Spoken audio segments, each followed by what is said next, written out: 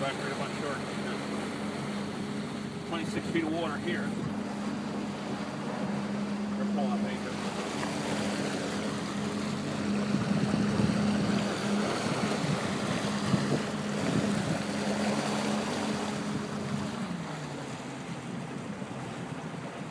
Feet of water here.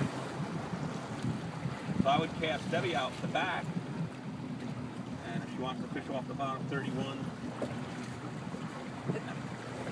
Newburyport Shore.